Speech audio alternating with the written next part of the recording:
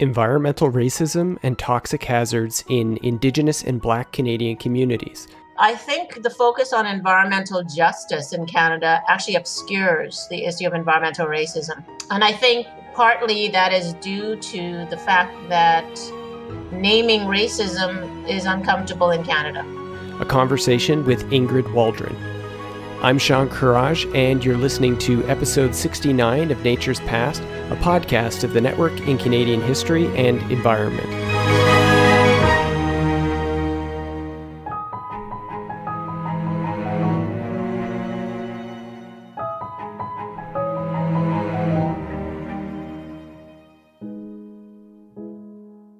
In recent weeks, political commentators and some Canadian politicians have questioned and even denied that Canada has a history of systemic racism.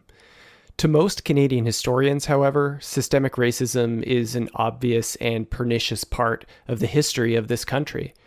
The same is true in Canadian environmental history. As environmental organizations like the Sierra Club, Environmental Defense Fund, and others come to terms with their own legacies of racism, environmental history as a subfield must also confront the ways in which racism is embedded in the histories we study.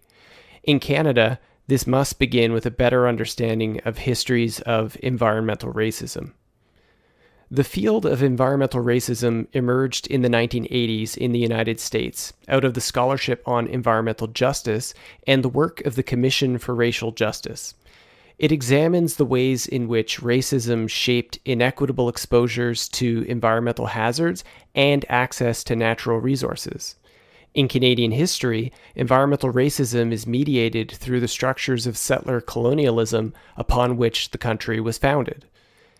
Ingrid Waldron's book, There's Something in the Water Environmental Racism in Indigenous and Black Communities, focuses on case studies of environmental racism in Canada with particular attention to Mi'kmaq and Afro Nova Scotian communities.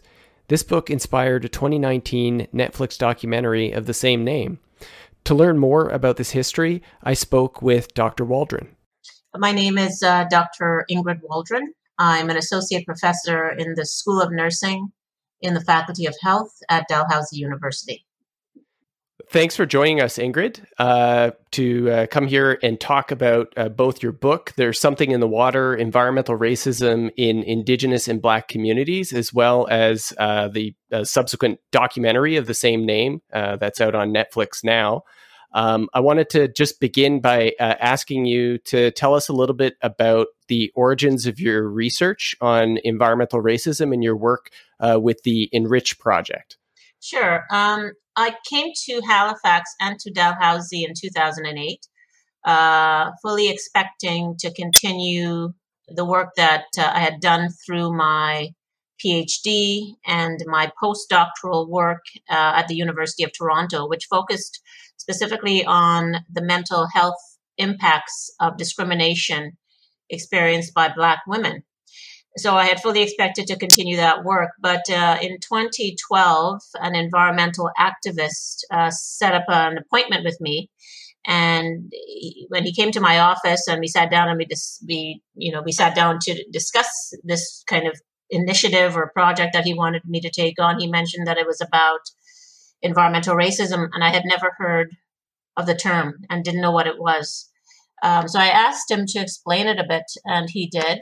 And uh, I was very hesitant initially to take it on uh, because I knew nothing about the environment um, and didn't uh, certainly didn't focus on that in my work, my doctoral work, or my postdoctoral work.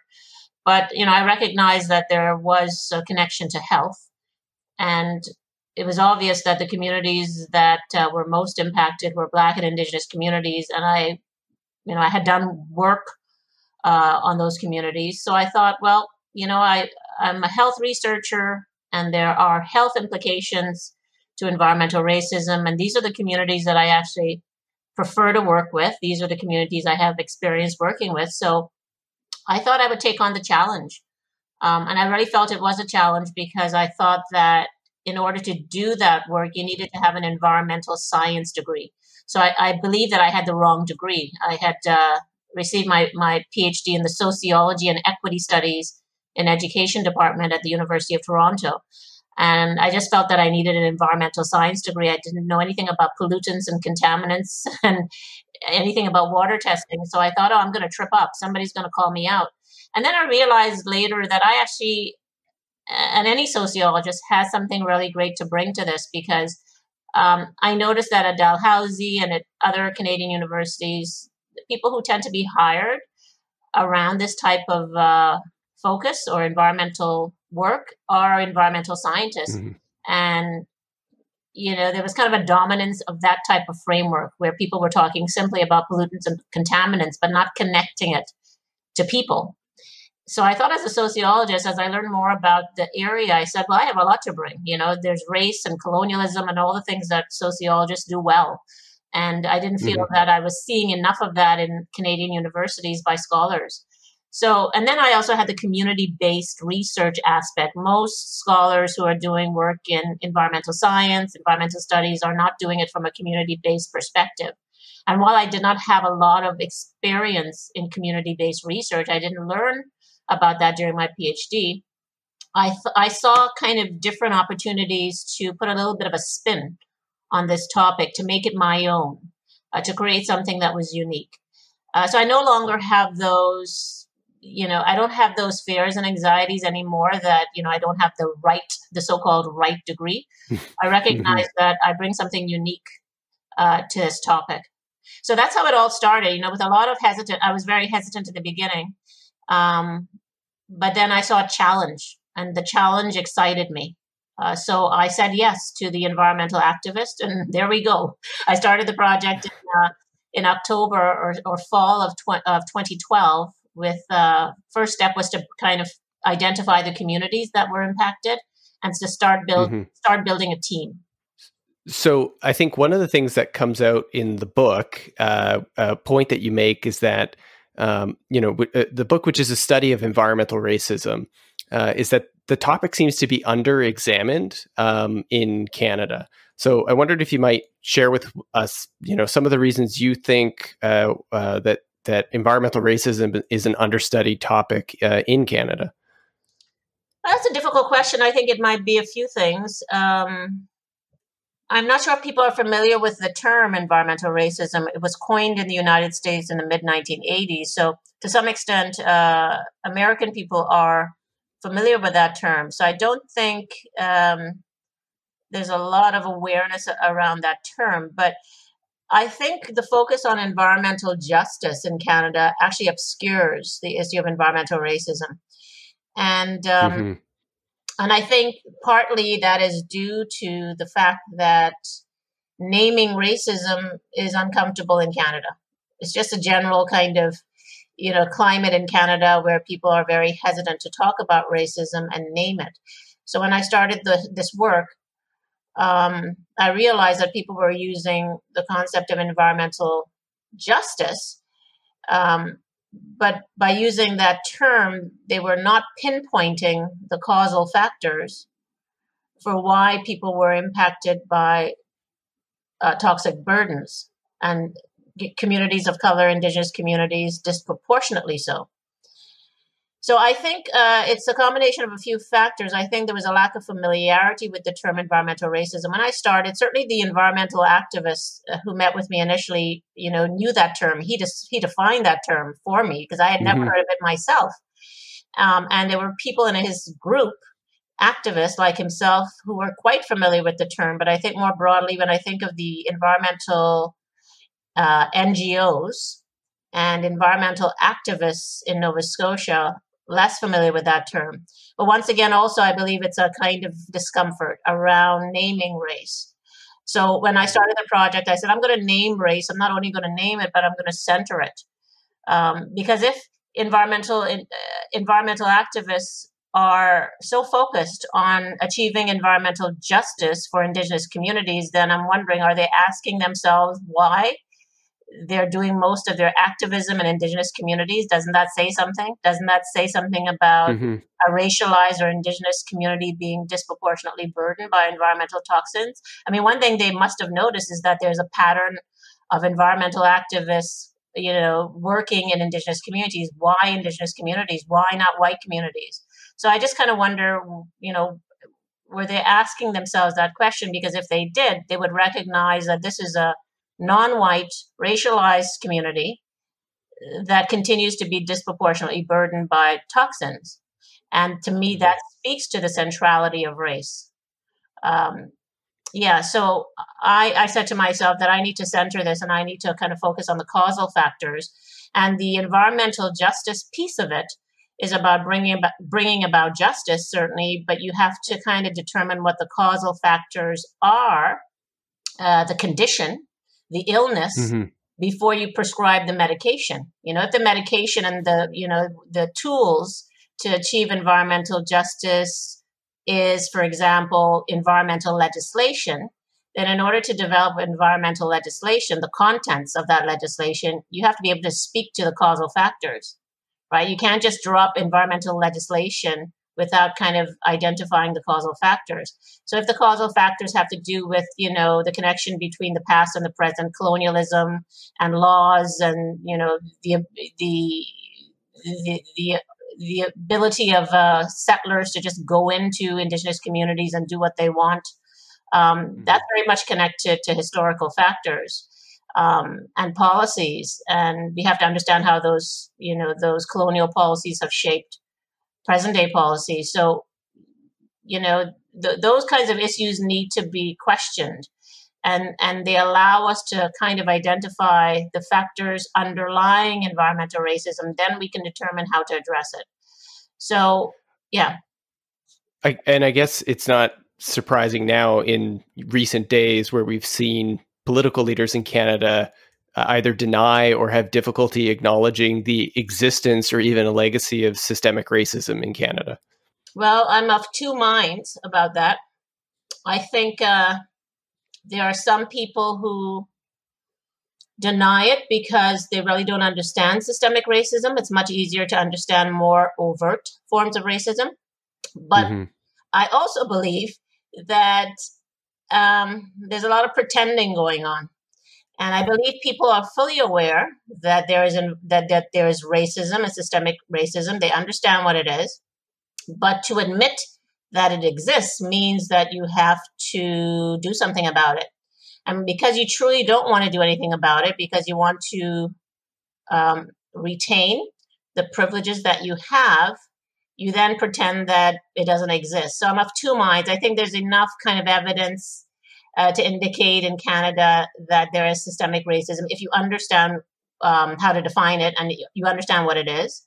Um, mm-hmm. But I also think there's a good portion of people who do understand what it is, but um, suggest to other people that they that it doesn't exist or they don't get it because they're going to have to do something about it. So yeah, so I don't think we have to keep continue to believe, uh, for example, politicians who say it doesn't exist. They just don't want to do anything about it. Right. Well, um, so I guess for listeners, um, I wondered if you could talk a little bit about um, Nova Scotia and the ways in which environmental racism has operated as a form of state sanctioned racial and gendered violence and provide some of the uh, examples of how Mi'kmaq and Black peoples are exposed to uh, environmental hazards uh, in the province. Well, we're using that term state sanctioned violence and you know racialized and gendered state violence uh, increasingly mm-hmm. these days, and it points it points specifically to the state, and more specifically to policies uh, that are meted out that in many ways harm marginalized communities disproportionately. So when I think about environmental racism, I think about how racist, classist, and colonial ideologies get get written into environmental policies. In, environmental policies don't just happen. People write those policies, and the people who have the opportunity to develop those policies are people from a particular racial um, and economic group. They're primarily white people, right, working in government. So they get to write those policies and they get to do that from their own framework, from their own lens and they their lived realities are very different from the people who are impacted on the ground so first of all when we talk about state sanctioned violence we're talking about the harms the violence of policies the harms that are meted out to people on the ground through the policies that are developed. Um, and that is in every institution, not just with respect to the environment, but we can talk about state sanctioned violence in terms of housing and labor and employment and education and the healthcare system, the ways in which the people who get to make decisions and who get to make policies develop those policies in ways that can be harmful, but also in ways that exclude people. And the way that those policies impact people on the ground is, is often harmful. When we talk about state sanctioned violence in terms of its gendered and racial characteristics, and I think of the example of environmental racism, I think about how it specifically impacts, for example, Indigenous women who are on the front lines of environmental justice organizing. So, if racist and classist and colonial state policies around the environment um, uh, are impacting Indigenous women in very specific ways, I point to issues like health, where uh, Indigenous women uh, have high rates of cancer, have high rates of reproductive health issues. Uh, so their bodies, their physical bodies, are impacted in very specific and unique ways. But I also consider how they're impacted psychologically because these are the individuals who are in the front lines, mostly women. And indigenous women, indigenous women would say that this is part of their culture. They don't necessarily see it as a burden, right? Mm-hmm. Because it's part of their tradition to be on the front lines. They would say that we are the life givers. So it is our job to protect the water and the land. Uh, but we have by by looking at it in terms of it being gendered and racialized state sanctioned violence, it's about how do policies impact people on the ground in very specific ways um, to harm those individuals through those policies, and that's the violence. But it's also mm-hmm. about the unique and specific ways, so the gendered ways in which those policies impact people. So there are gendered ways, for example, in which um, the body is impacted by environmental contaminants. So when we think of gendered ways, you know, that the fact that, for example, men are disproportionately, just this is an example, but men are disproportionately in certain occupations that would put them at risk or for exposure to certain types of contaminants and pollutants based on the kinds of work that men do, right? And then when we think of the segregated labor market, which is segregated by gender and race, and immigration status, we think about where are, for example, uh, immigrant women, when they first come to Canada, disproportionately located in the labor market. Well, they're in cleaning services, they're in they're domestics in hotels um, mm-hmm. and hospitals, and that's going to expose them in very unique ways to certain contaminants and pollutants. So, um, mm-hmm.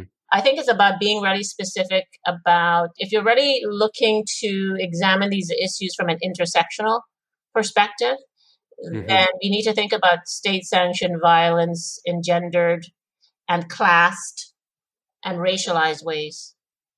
And that's what I try to do in my book. You know, I, I talk about environmental racism, yes, but it's if, if you if you've read the book, you would see that it has a kind of strong gendered analysis uh, connected to race and to class.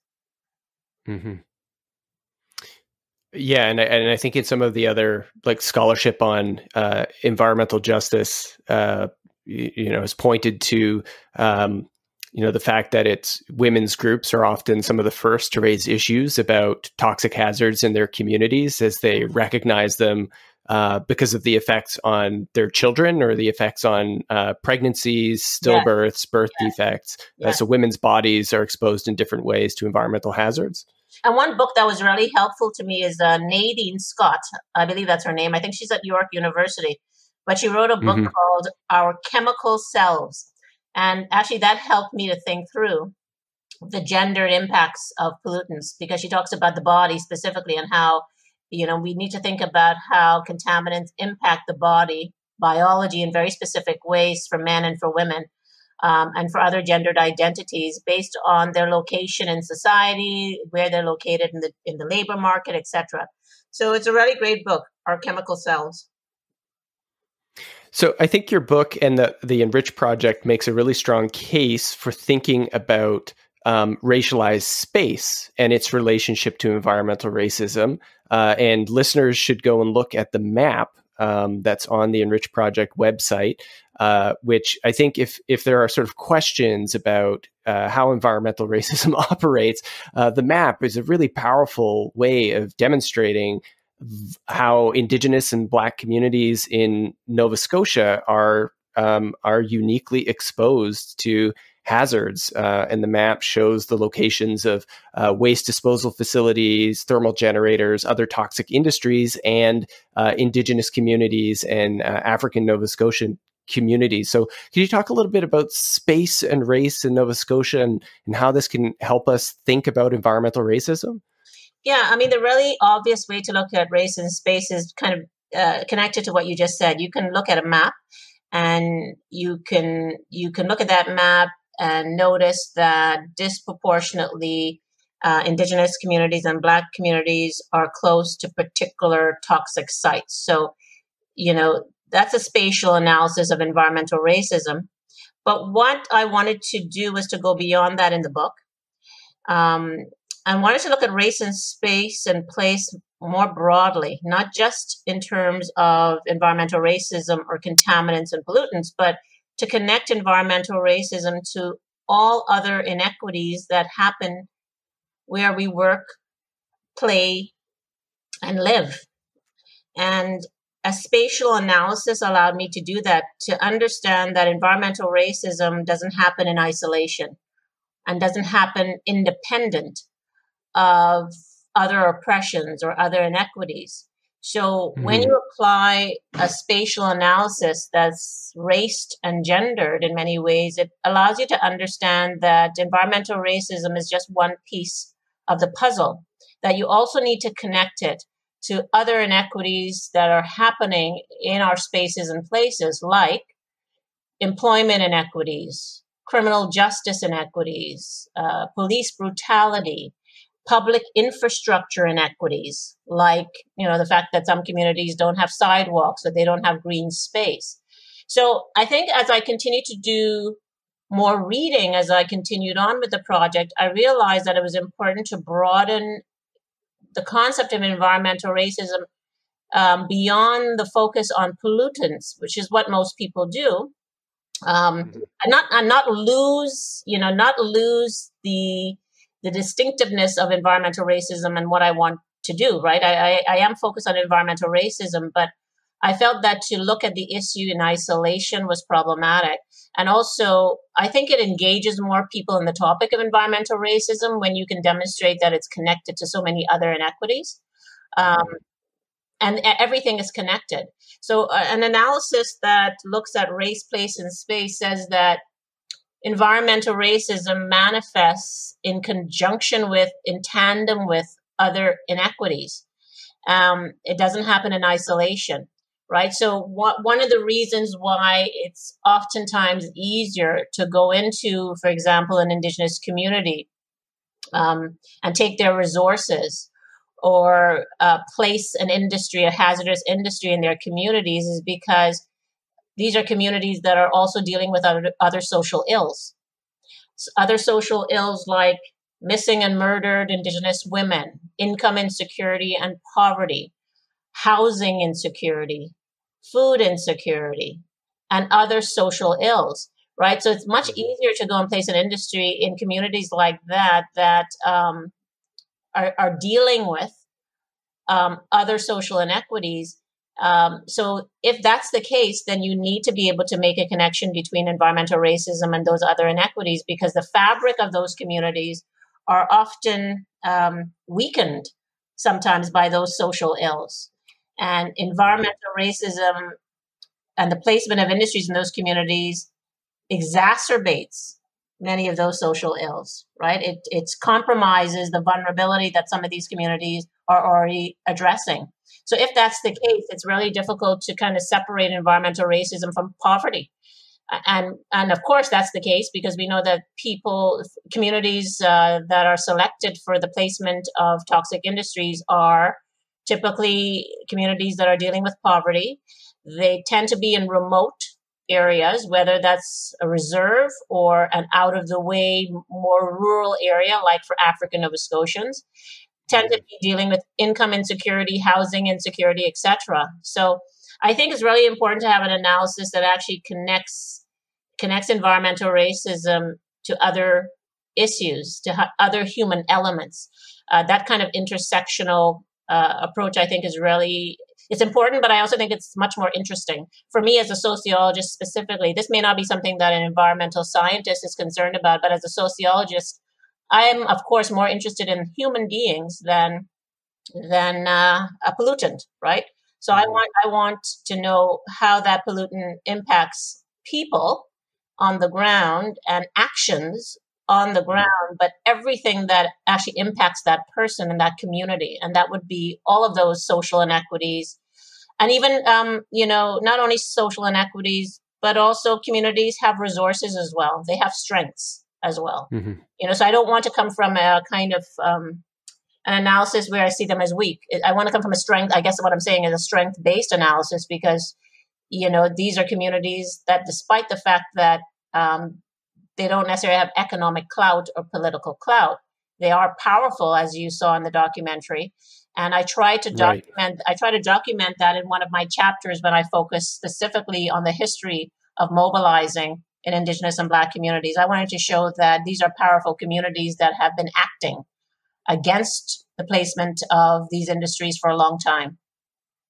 Right. And it's those communities that make the geography of environmental racism visible and have for decades. Yes.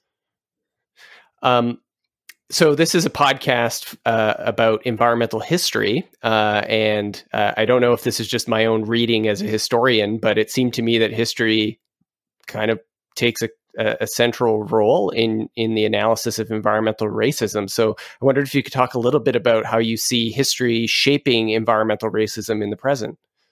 Well, the overarching framework uh, in the book is settler colonialism, which I thought was kind of apt for what I was discussing. And certainly when people discuss environmental racism today, um, they, typ- they typically like to talk about it as an example of settler colonialism. So there's a part of my book where I talked about I talk about colonialism.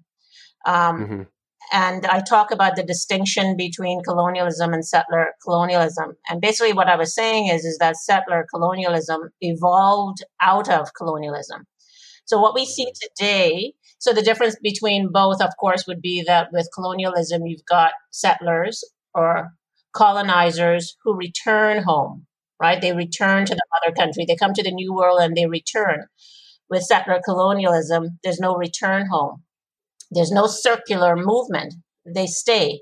They stay for the purposes of exploitation and profit and capital, right? So that was really important for me to look at the connections between colonialism and settler colonialism in that way, but also to demonstrate that what we see now, even though we call it settler colonialism, is the same kind of colonialism. It's about settlers uh, uh, or colonizers imposing themselves upon communities in order to exploit for resources. The same thing is happening, but what uh, what happens today is that the the you know these are activities that are shaped by what has happened before. They're shaped by colonial policies from the past. So when we think about, for example, the Indian Act, um, you know, people would often say, "Well, that's history. Why bring up history?" But his, you know, history, the past is the present. I always say. So what we're seeing today in these communities, it's informed by, it's shaped by the Indian Act still,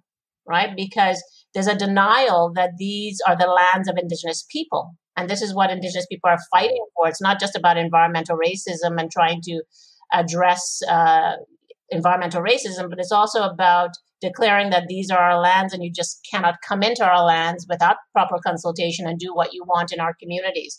So, in that way, it's very much an aspect of history. The Indian Act and um, other acts, I think I talked about the British North American Act as well. These, these mm-hmm. acts and policies continue to inform what's happening today. So, settler colonialism is kind of a way to say that this is a new brand uh, a new kind of colonialism, but it, it operates in the same way uh, as mm-hmm. colonialism. Um, yeah, so that I see that as the con, uh, as the connection uh, between the past and the present, and mm-hmm. colonialism was for me a really perfect a, a, perfect framework to discuss what's happening today. It it seemed to uh, in the book and in the documentary that um, in many ways the toxic legacies of the you know waste facility site in Shelburne or the um, uh, the effluent uh, disposal um, infrastructure in Boat Harbor. Uh, you know these are these are infrastructures that are built in the mid 20th century in the 1940s and the 1960s but the environmental legacies of that infrastructure the kind of violence that is uh, instituted in the past it happens every single day and persists right through into the present that although maybe uh, the ways that policy acts or the way that people think changes over time, uh, those communities still live with the effects of decisions that were made decades ago. Exactly. And, uh, you know, while, for example, the the landfill in Shelburne was closed because of the activism of the community, it was closed in mm-hmm. 2016. You know, the leaders there would say, yes, we did get it closed in 2016, but we're still dealing with the after effects, particularly high rates of cancer you know they would say that yes you know even though the landfill is closed we're still dealing with cancer so you really can in all of these cases you really can separate the past from the present because these communities are still dealing with not just the physical after effects in terms of illness but the psychological after effects and you heard that clearly from louise delisle in the movie mm-hmm. when she talked about how her community was viewed and how they're still viewed you know recently she would you know recently she said that we are viewed as trash we are viewed mm-hmm. as trash because we live near the trash but the reason why they were selected for that landfill in the first place is because of those types of ideologies about african nova scotians in this province right so in terms mm-hmm. of ideologies and perceptions those haven't changed that much i would have to say um, yeah, so it's a, it's a really good example of how we need to connect the past and the present. Um, and many of the issues that communities are still dealing with um, have everything to do with the fact that policies haven't really changed that much in Nova Scotia. Um, I want I want to make sure we have enough time to talk a bit about some of the policy action that you were involved in. Um, can you tell us a bit about the Environmental Racism Prevention Act, uh, how this uh, initiative originated, and and what what it tells you or suggests about the possibilities for redress or uh, or addressing uh, the legacies of environmental racism?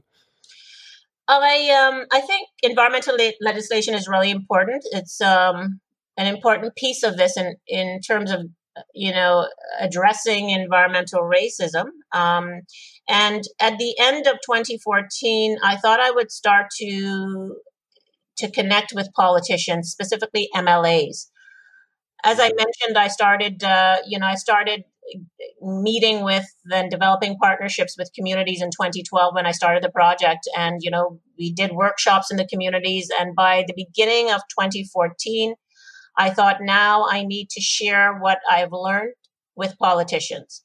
So I, I, I started to connect with politicians in the fall of 2014, and then around Christmas time of 2014, I got a few responses. But the first person who responded was Lenore Zann, um, and we met for coffee, and she just seemed really keen to help and she mentioned that we could we could develop a bill, a private members bill, but she cautioned me. She, she said these are bills that tend to not pass into law. So I don't want you to get your expectations up. I, I was just meeting with her to kind of figure out how she could help because I felt that, you know, I had reached out to various uh, government departments and I wasn't getting much of a response. And by the end of 2014, I thought I was chasing my tail and I was getting nowhere. I was very frustrated. And here was this this very enthusiastic woman really wanting to help. And she also didn't know what environmental racism was at that point. So she said, um, you know, I'm from I'm from Australia. And when I was a little girl in Australia, I noticed that Aboriginal people always seem to be near a dump. Is that what you're talking about? And I said, yes, that's exactly it. and we talked about it a little bit more. And she says, well, let's do this bill. Once again, don't expect this bill to pass into law, but what it can do is bring a lot of attention to your project and bring a lot of attention to the issue of environmental racism. We can get people talking about it. And I said, okay, that sounds great. We actually introduced that bill in the House, in the uh, legislature, Nova Scotia legislature, April 29th, 2015. It was called uh, Bill 111, an act to address environmental racism. And uh, it did go to second reading later that year in November of 2015, but it, uh, it, it never passed into law. You know, so she was right. Mm-hmm. But what it did actually, it actually broadened the conversation about environmental racism. Yes, it was in the media. It was all over the media. We had a press conference after she introduced it in the lobby of the legislature and it was in all the papers and, and, it was in the kind of lexicon now environmental racism environmental racism. When i started the project you know i had a lot of journalists ask me what's that? Can you can you define it ingrid? You know it, people didn't know what it was. And after that press conference it was kind of in the lexicon and i don't get that question anymore. It's interesting. I don't get the question what is environmental racism? So so we decided that or she decided that she would reintroduce that bill every year and i've got to say thanks to her thanks to Lenore, she mm-hmm. it was reintroduced every year up until 2018. She then left the NDP party for the Liberal Party, and she's now rather than being she's not an MLA anymore. She's now an MP, but still mm. but still focused on environmental issues. So earlier this year in February, before the pandemic hit, she said, Ingrid, what do you think about me using our old bill and and uh, changing it a bit, modifying it a bit, and and uh, you know once I do that, I would really like to introduce it in the House of Commons as a federal environmental racism bill. I'm going to try to get. Uh, I'm going to try to get Elizabeth May on board and other people in my party. I really think I can do this. So I looked at her kind of revised bill and I gave her some um, feedback. And she introduced the first federal environmental racism bill in the House of Commons on February 26th. And she said, Ingrid, I already think this is getting to second reading. You know, I've got a lot of support. And we were really excited. She said she was going to put it forward at the end of March of this year. And of course, then the pandemic hit. So mm. that halted everything. But, uh, you know, there was a recent Globe and Mail article that came out uh, this week or last week. Uh, she gave an interview and apparently, she's planning to put it to second reading in the fall of this year. So, this is exciting for me because I think, you know, with these kinds of bills, it's really important to get uh, to kind of set out guidelines for government in terms of how to address these issues. And that's what these bills do. They set out mm-hmm. kind of guidelines or recommendations of what they must do in order to begin to address this issue. So, legislation continues to be really, really important to me, but I don't think it's. I don't think. I don't think with this particular issue there needs. I need to rely on legislation because I can. I, I've seen over the past few months what community mobilizing can do as well.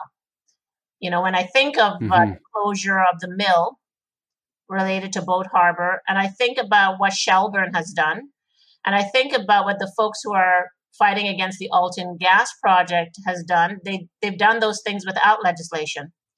So right. while in, while in the past I was really reliant on a bill, I thought the bill was going to solve all the problems. I now know that a lot of different things uh, coming together can help address this issue and not simply legislation. But I think I do think it's important to have legislation. I think it's important to have the first real environmental racism, or if you want to call it environmental justice, I'm fine with that.